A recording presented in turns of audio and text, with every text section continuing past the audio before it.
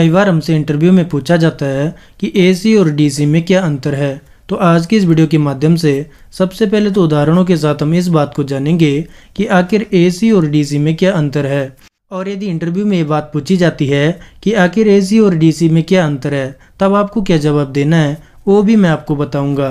तो चलिए जानते हैं ना। सबसे पहले बात करेंगे एसी के बारे में। तो जो हमारे पास एसी होती है, वो हमारे पास फ़ेज़ और न्यूट्रल के रूप में होती है। जबकि जो हमारे पास डीसी होती है, वो हमारे पास प्लस और माइनस के रूप में होती है। अब यदि बात की जाए फ़ेज़ की तो फ़ेज़ हमारे पास तीन प्रकार के होते हैं। अब यदि पूछा जाए कि डीसी में कितने फ़ेज़ होते हैं तो डीसी में तो कोई भी फ़ेज़ नहीं होता है। डीसी केवल प्लस और माइनस के रूप में ही होती है। और यदि हम बात करें फ़ेज़ की तो फ़ेज़ के अंदर प्लस और माइनस दोनों ही होते हैं। यानी कि जो एसी के अंदर फ़ेज़ होता है, वो कुछ समय के लिए तो प्लस होता है, और कुछ समय के लिए माइनस भी होता है। अब इस चीज़ को समझने के लिए हमें फ्रीक्वेंसी के बारे में जानकारी होना बेहद ज़रूरी है।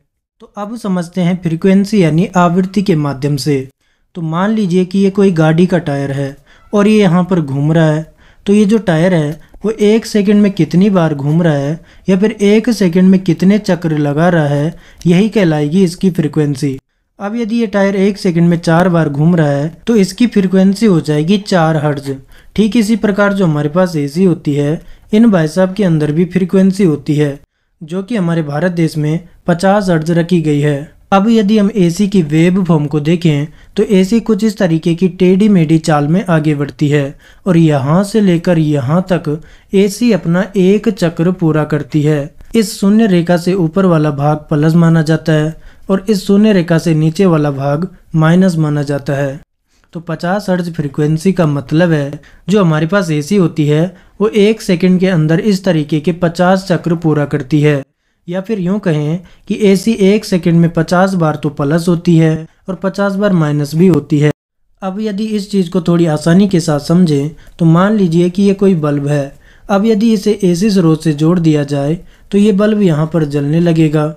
लेकिन अब सुनो ब्रेकिंग न्यूज़ होता क्या है कि जब ये बल्ब जलता है तो हमें ये बल्ब लगातार जलता हुआ दिखाई देता है, जबकि हकीकत ये है कि ये बल्ब लगातार जलता ही नहीं है। 50 हर्ज फ्रीक्वेंसी का मतलब है कि ये बल्ब एक सेकंड में 50 बार तो जलता है, और 50 बार बंद भी होता है। लेकिन ये जो क्रिया है, वो इतनी तेज़ी से होती है, और इतने कम समय में होती है कि हमें अपनी आँखों से दिखाई नहीं देती है। अब यदि बात की जाए डीसी के बारे में तो डीसी बेचारी बिना अपनी दिशा में परिवर्तन किए एक सीधी रेखा के रूप में आगे बढ़ती है। इसका मतलब ये है कि डीसी की कोई वेव फॉर्म नहीं होती है, और यही कारण है कि जो हमारे पास डीसी होती है, उसके अंदर फ्रिक्वेंसी नहीं होती है। अब समझते हैं पावर फैक्टर के माध्यम से। यदि आप इलेक्ट्रिकल फ़ील्ड से हो तो आपको पावर फैक्टर के बारे में जानकारी होना बेहद ज़रूरी है। तो मान लीजिए कि ये कोई तार का टुकड़ा है। तो जब इसमें से धारा चलती है तो उस टाइम इसमें से वोल्टेज भी चल रहा होता है। किसी भी चालक में धारा और वोल्टेज कुछ इस तरीके से आगे बढ़ती है। इन जगहों पर धारा और वोल्टेज का मान शून्य होता है और इन जगहों पर धारा और वोल्टेज का मान अधिकतम होता है। अब ध्यान देने वाली बात यह है कि जब धारा अपने शून्य मान पर पहुँच रखी है, उस टाइम वोल्टेज अपने अधिकतम मान पर पहुँच रखा है। और जब धारा अपने अधिकतम मान पर पहुँच रखी है, उस टाइम इन भाई साहब का मान शून्य है। तो कुल मिलाकर यदि देखें तो इन दोनों के बीच कुछ न कुछ अंतर आ गया है। इसी अंतर को कहा जाता है पावर फैक्टर अब क्योंकि जो हमारे पास एसी होती है, उसके अंदर फ्रिक्वेंसी होती है, और यही वजह है कि एसी की वेब फॉर्म भी होती है। और यही कारण है कि एसी के अंदर पावर फैक्टर भी होता है। और ये जो पावर फैक्टर है इसका मान अलग अलग परिपथ में अलग अलग होता है। अब यदि बात की जाए डीसी की तो डीसी के अंदर कोई भी फ्रिक्वेंसी नहीं होती है, और यही कारण है कि डीसी के अंदर पावर फैक्टर भी नहीं होता है, क्योंकि डीसी के अंदर फ्रिक्वेंसी ही नहीं होती है, और यही कारण है कि इसकी वेब फॉर्म भी नहीं होती है, और इसीलिए डीसी के अंदर पावर फैक्टर भी नहीं होता है। अब यदि बात की जाए स्टोरेज के बारे में तो जो हमारे पास एसी होती है, इसे स्टोर नहीं किया जा सकता है जबकि जो हमारे पास डीसी होती है, इसे स्टोर किया जा सकता है। एसी को भी यदि स्टोर करना है तो इसके लिए इसे पहले डीसी में बदलना पड़ेगा। तो कुल मिलाकर यदि देखा जाए तो केवल डीसी को ही स्टोर किया जा सकता है।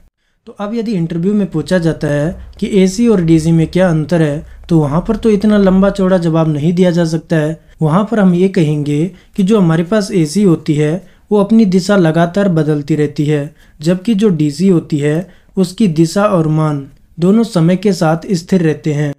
एसी के अंदर फ्रीक्वेंसी होती है, जिसका मान हमारे देश में 50 हर्ट्ज रखा गया है, जबकि जो डीसी होती है, उसके अंदर कोई भी फ्रीक्वेंसी नहीं होती है।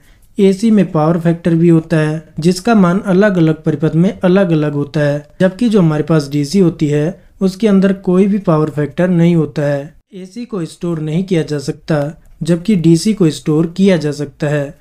एसी हमारे पास फ़ेज़ और न्यूट्रल के रूप में होती है, जबकि जो डीसी होती है, वो प्लस और माइनस के रूप में होती है। तो उम्मीद करते हैं कि अब आप समझ गए होंगे कि एसी और डीसी में क्या अंतर है। तो दोस्तों, उम्मीद करते हैं कि ये वीडियो आपको काफ़ी पसंद आया होगा और आपके लिए फ़ायदेमंद भी साबित होगा।